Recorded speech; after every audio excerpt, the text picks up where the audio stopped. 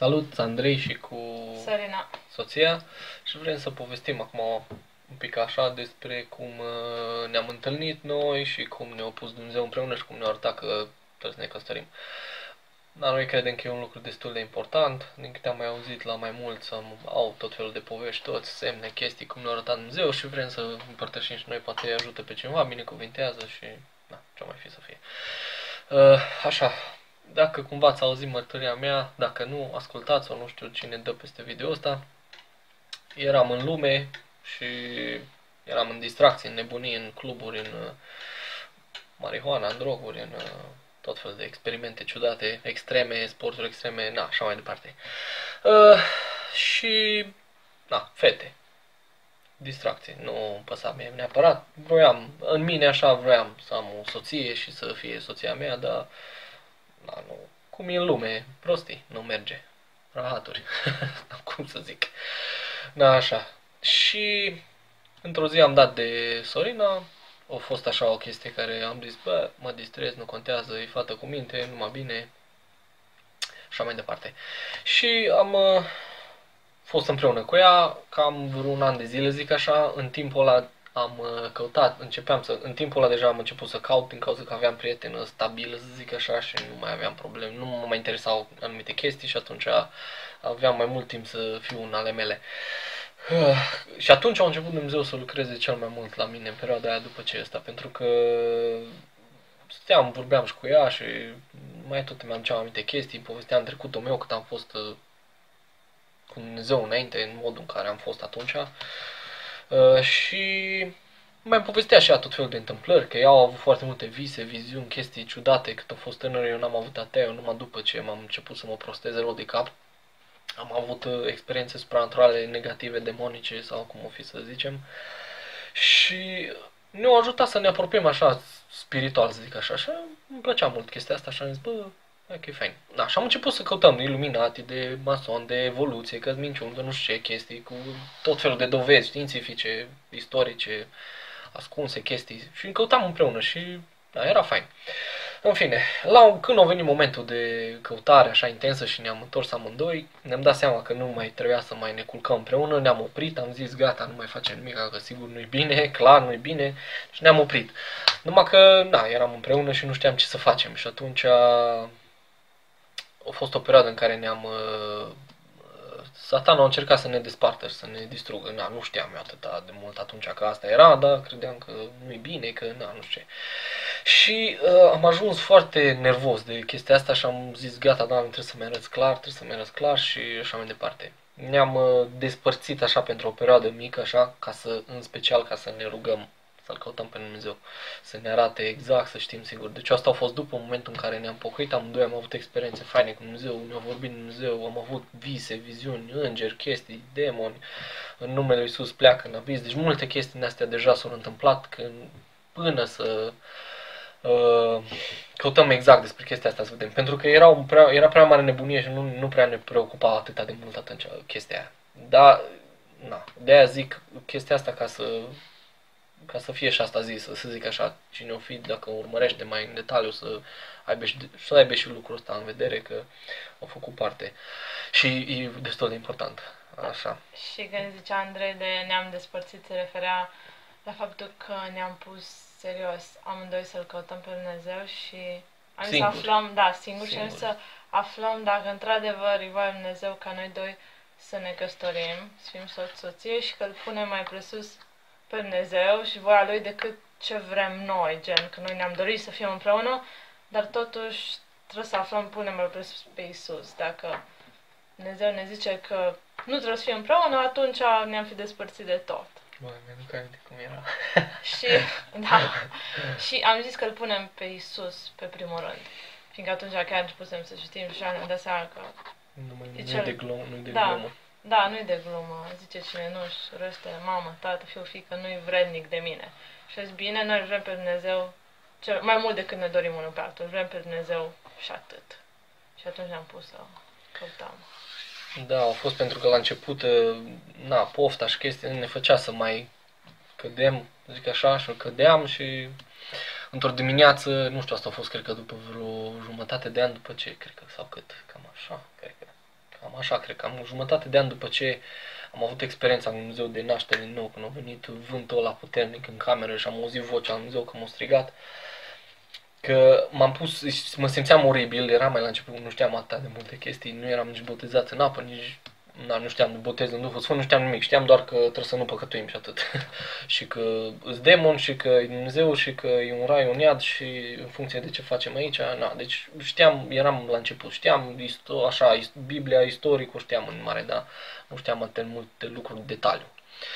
Uh, da, au fost mai bine, că le-am luat toate de la zero și acum nu mă mai uh, minte vreo religie cu chestii subtile. În fine. Uh, și m-am pus în genunchi într-o, într-o dimineață când simțeam oribil și am auzit clar de ce au fost printre singurele dăți, când, cred că pot să număr pe degete de câte ori am auzit voce, așa cum auziți acum, așa, o voce clară, autoritară și puternică și știam că e a lui Isus, nu e a Tatălui sau nu e a Duhului Sfânt, dar Duhului Sfânt de obicei nu vorbește așa, îmi vorbește altfel, vorbește mai voce mai lină, mai înceată și mai așa în Duhul. Și am auzit așa în, în zona asta, așa undeva aici, așa am auzit o voce, cumva că mi-a zis, nu ți îngăduit să o ai. Și am știut clar că era vorba de Sorina și așa mai departe. Pe atunci încă mai aveam probleme cu pornografia la început, că zi zic eram la început și atunci mă și uitam la pornografie și stăteam cu ea și se întâmplau tot felul de chestii ciudate noaptea. Na, probabil că am mai povestit despre chestii, nu are rost să intrăm în discuția asta acum. și atunci mi-a zis Dumnezeu asta. Și am zis, na gata, ne punem, ne punem, ne punem.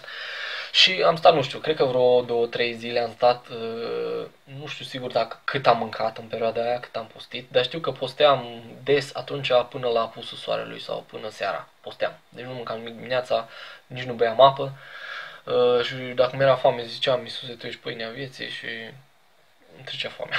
deci au fost niște perioade așa. Ea era acasă la a ei și ea se ruga, dar eu nu știam ce se întâmpla, ce făcea ea și ce făceam eu. Și eu m-am... Uh, uh, ea simțea că era bine, eu, pe, eu aveam mai multe, din cauza că eu am fost cu mai multe fete înainte, ea, o, asta mulțumesc la Dumnezeu că ea a fost, a fost un dar fain, că ea a fost fată cu minte, să zic așa.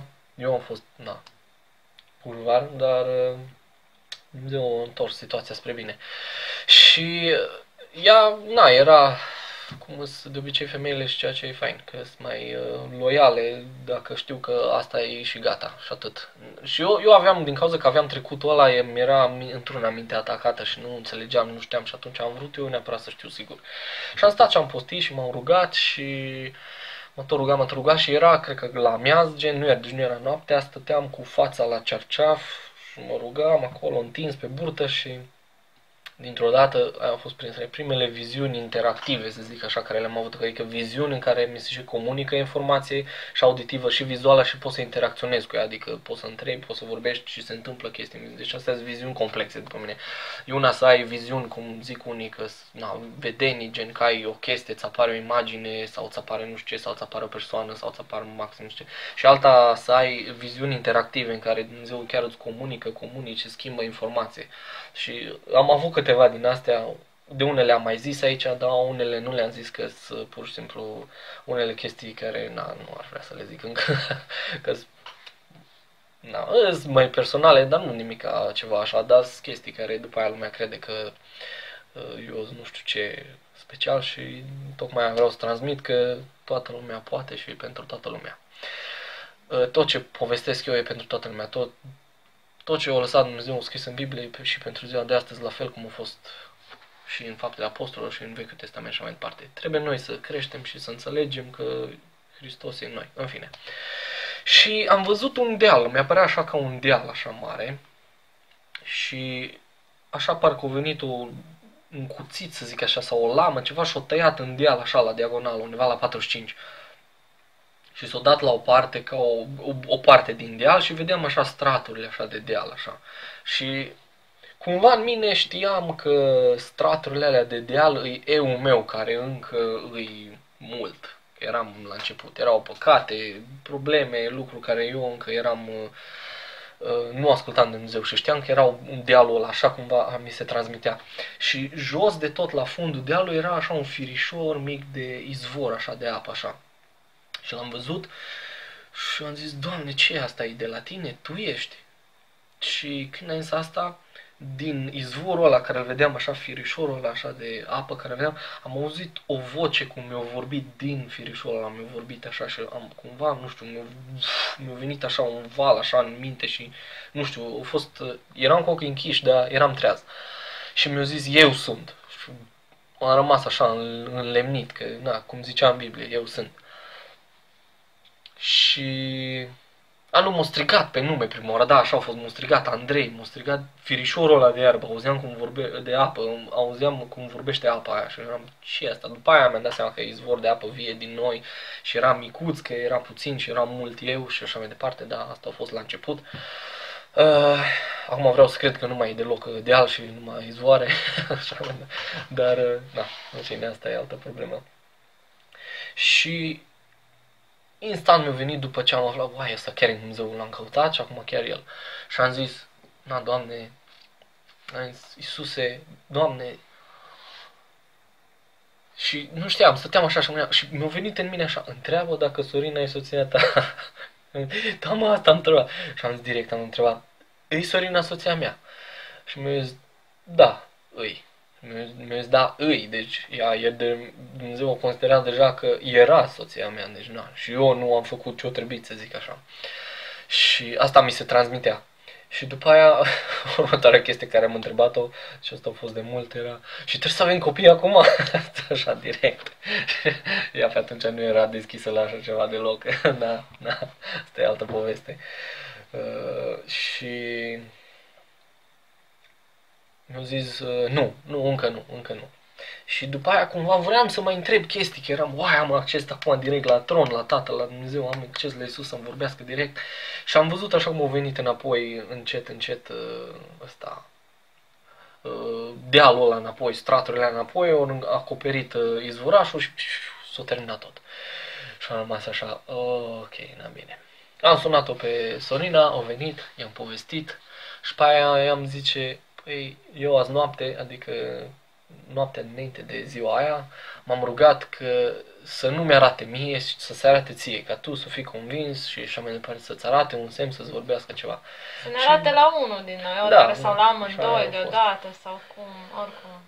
Și da, aia, după aia ne-am uh, pus uh, mai serios. Uh, am vrut să mai fiu, să fiu sigur încă o dată și am mai stat. Și după aia am zis, am zis Doamne, să, să-i arăt și ei ceva. Deci să arăt și ei ceva neapărat că nu numai eu o să fiu sigur că ne arăt și ei ceva anume. Și povestește ea acum ce i-a arătat ei Dumnezeu. Da. Uh, chiar în noaptea când am avut vis, am avut parte de puțină persecuție, așa. Știu că seara citeam și... Da. În română se zice ce? mai mult prigonire. Prigonire. Da. Așa da. prin Biblie. Da, eram chiar la început și citeam din Biblie așa și chiar am parte în ziua de prigonire, așa, persecuție. Și noaptea am visat gen, așa, cum zic, foarte, foarte real era visul și tot ce vedeam în el. Am visat că era un fel de deșert, să zic așa, așa, o întindere foarte plată, așa, și era un elefanțel mic acolo, uh, bebe, adică cum să zic, de câțiva anișori, să zic așa, pui. și cu un pui, un pui, așa. și era cu părinții, cu amândoi părinți. Mama și tatăl și erau foarte mari, adică el era micuț atât și părinții erau așa mari, greoi și puiul mergea în spatele părinților, mergea în față. Și cumva, după ce m-am trezit, mi-am dat seama cumva în vis, parcă auzeam Duhul Sfânt cum povestește și îmi spune povestea, în măsură ce vedeam visul. Și l-am văzut pe puiul ăla de elefant și părea foarte trist, era așa întristat, se mai tot împiedica, mai în, în mersul lui cum mergea, se mai tot împiedica, așa. Și elefanțelul ăsta mic îmi puneam întrebări, deci simțeam Duhul Sfânt cum îmi spune informația asta și mă făcea să o și simt în același timp în mine tristețea elefanțelului. Așa. Și vedeam cum la un moment dat drumul pe care mergeau elefanței ăștia așa se despărțea. Și erau două căi total separate. Și am văzut cum părinții elefanțelului mic au luat-o pe un drum și elefanțelul cel mic, puiul așa, s-a oprit și începea să meargă înspre celălalt drum. Și mă gândeam, oare o fi trist din cauza că părinții lui nici nu-l bagă în seamă și, și părinții lui tot mergeau mai departe, mai departe, mai de, nu se întorceau înapoi după pui. Și după aia am simțit, simțeam cum îmi zicea Duhul Sfânt și în mine că nu de aia e supărat elefanțelul mic. Și după aia am văzut cum puiul ăsta de elefant se îndrepta pe celălalt drum, total opus, așa, și au întâlnit alt elefanțel mic, alt pui și atunci am înțeles, am zis că era Andrei, că eu eram puiul ăla de elefanțel cu părinții care au luat-o într-o parte și eu mă îndreptam total opus în cealaltă parte și am dat de Andrei. Și am văzut cum cei doi elefanței voiau să se joace unul cu altul și pas să continue drum, drumul împreună. Și vedeam că la capăt ăsta se vedeau în depărtare niște elefanți foarte mari, dar departe, departe de tot, roz, ca de lumină roz, cum zic, străluceau și erau wow. și nu, a, și curcube sau Nu, nu, erau, erau pur și simplu din lumină roz, strălucitoare, elefanții care steau pe două picioare, în sus, cu trompa așa, și asta era la finalul de tot, se vedea la capătul capătului și pe drumul ăsta pe care au luat-o cei doi elefanței, erau alți elefanți care urmau iarăși același drum. Și în vis mi-am dat seama, adică mi-am dat seama, mi-a arătat Duhul Sfânt că era trist elefanțelul mic din cauza că voia să ajungă, nu era încă acolo la, cu elefanței din lumina roz, care în final mi-a explicat Dumnezeu și mi-a arătat că de fapt elefanței din lumina roz erau mireasa, erau creștinii care au ajuns la desăvârșire, la maturitate, au ajuns ca, să, să devină mireasă, să devină cum se de mireasa lui Hristos, că trebuie să fie fără pată, să, fă, trebuie să fie curată, desăvârșită. Și ca asta urmărea și elefanțelul mic, care eram eu, de fapt, și cu Andrei, și restul elefanților care erau pe drum și care erau normali, ca noi, așa, să ajungă elefanței din lumină roz, adică să ajungă mireasă, fără pată și curată. Asta era scopul, în final, al călătoriei. Și când m-am trezit, uai, am fost pur și simplu așa nu, nu știu cum să zic, și surprinsă și bucuroasă și nu venea să cred ce, ce mi-a arătat Dumnezeu despre mine și Andrei, faptul că trebuia împreună să urmăm călătoria asta și să îl urmăm pe Isus și să ajungem la maturitate, să devenim mirease și că asta e bucur, asta trebuie să fie bucuria noastră, să devenim ca Isus. Asta e prioritatea. Asta e, da, asta e prioritatea noastră. Și când ziceam, și am fost și... ne dă câteodată să umblăm doi pe aceeași cărare și să umblăm împreună. Și e foarte important lucrul ăsta că mulți na, nu lasă în urmă pe tata și pe mama. Chiar dacă și pe drumul ăla, dar trebuie să stai împreună cu cine te pus Dumnezeu să stai împreună și să urmezi și ăsta e scopul principal. Nu e să-ți faci casă, nu e să-ți faci uh, viitor să îți rezolvi lucrurile aici prima oară și după aia să-L urmezi pe Dumnezeu. Nu e exact invers. Trebuie să îl urmezi pe Dumnezeu chiar dacă n-ai nimic și pe parcurs lucrurile se rezolvă. Da, na, asta e toată ideea. Și asta au fost uh, niște experiențe care pe noi ne-au ajutat și ne-au arătat clar că, bă, na, Dumnezeu vrea să funcționăm împreună și am văzut multe lucruri bune care au urmat de aici, să zic așa. Adică am văzut rodul, știi? Deci aia e toată chestia. Că poate unii zic că na, nu erau de Dumnezeu astea și nu știu ce și de unde știți și așa mai departe. Dar am văzut rodul și vedem în continuare și rodul fizic, chiar că și copilul nostru, cum s-a născut, poate să povestesc și despre asta odată. Am avut niște, mi-a și zis Dumnezeu cum să-i pun numele, mi-a zis că e băiat când nu avea cum nimeni să-și dea seama că e băiat și mi-a arătat chestii.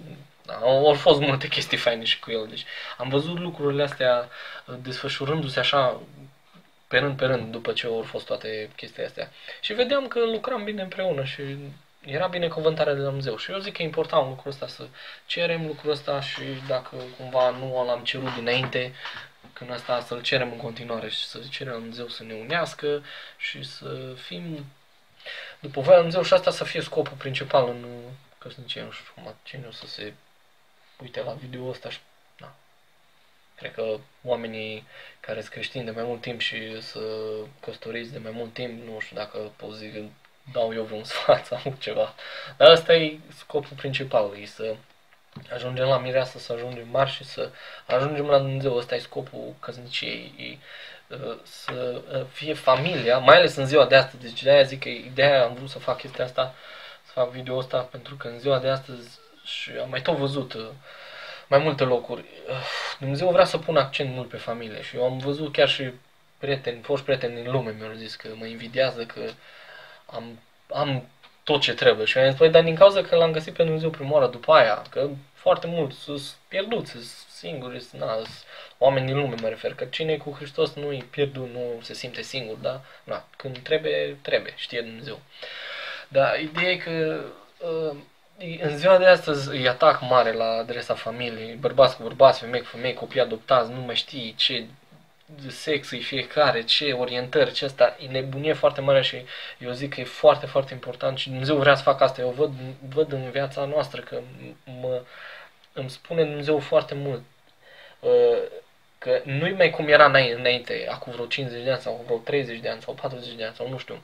Când familia nu era atât de importantă pentru Dumnezeu, să zic așa, adică era importantă să fie familie credincioasă, să fie unită, să nu... dar nu e atât de important să investești timpul în chestia asta, cât e în ziua de astăzi din cauza la toate nebuniile care se întâmplă și la atacurile astea lui satana la adresa familiei acum vreo 2 ani sau nu știu când mi-a arătat Dumnezeu că a venit un val mare de divorț, furtuna cea mai mare a fost de divorț și de despărțiri și din astea și a fost o perioadă în care peste tot parcă numai asta vedeam. Și în lume și și în biserică, scandalul, chestii, lucrurile nu funcționau, dar în lume era plin, peste tot. Vedeam prieteni de vârsta mea, oameni mai mari chiar, divorțuri, nebunii. Pentru că satana vine să distrugă lucrurile care îi plac Dumnezeu și dacă Dumnezeu a zis că e binecuvântare când cei doi vor fi una, pe satana vrea să rupă chestia aia, să o distrugă, pentru că știe că e binecuvântare acolo. Și eu zic că e foarte important să ne focusăm pe chestia asta și să fim lumină în lume și în modul ăsta. Și foarte important, de aia zic, mai ales în, în, în zilele din urmă, eu cred că o să fie asta, o să fie uh, Uh, chemarea cea mai puternică, zic așa, de familie, în care și copiii să fie implicați de mici, nu știu acum, școli private, școli creștine, școli, nu știu nici eu că și nostru e mic, încă nici nu merg la grădiniță, dar cred că o să fie asta o luptă mare pe viitor. Nu știu cât, 10 ani încolo, cât o să mai, 15-20 de ani, cât o să mai fie pământul ăsta, chiar 20 de ani, nu, nu știu, poate, nu știu, nu intru în escatologie sau cum sunt astea de vorbit despre sfârșitul lumii, dar altă dată, da, da, în fine. Uh, deci, ideea e că eu zic, eu personal zic din ce am văzut cum mi-a arătat Dumnezeu să ne focusăm pe familie și să... Dar nu asta să fie, cum zic eu, sunii care Adică, în altă extremă. Da, în extrema altă. Nu, în sensul de să lucrezi pentru Dumnezeu împreună cu familia, cu toată, să implici toată familia, să nu... Că erau, de-aia zic, că înainte, cu vreo 40-50 de ani, era ideea că femeia cu copii rămâneau acasă și bărbatul pleca în evangelizare pe nu știu unde, nu știu ce, și familiile erau distruse și mai departe. Acum, în ziua de astăzi, eu cred că Dumnezeu fa- face alt, alte priorități. Că în fiecare generație sunt diferite priorități și nu e ca și cum Dumnezeu se schimbă, e același, dar e vorba de prioritățile în funcție de lumea care se care ui, că sunt foarte mulți oameni deprimați în, din cauza că sunt singuri, la 40-50 de ani tot umblă din întâlniri în întâlniri și Dumnezeu vrea să arătăm că nu, a, nu, nu o să fie fericirea asta niciodată. Da, nu știu. Mai vrei da. să zici tu ceva?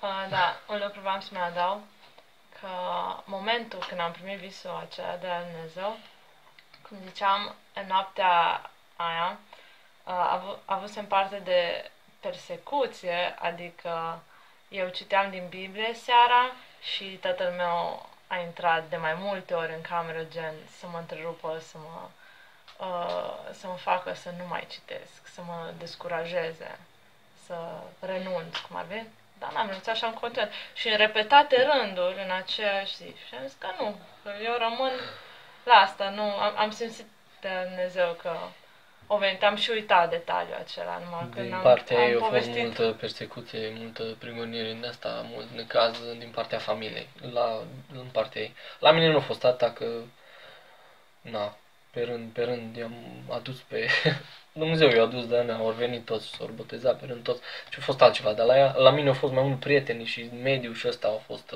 nebunie, dar nu ești atât de legat de prieteni cât de familie și atunci aia au fost mai greu, au fost mai multe, multe, multe nebunii, da, Dumnezeu le-a rezolvat pe toate și a pus uh, ciocanul și a făcut judecată și a zis gata.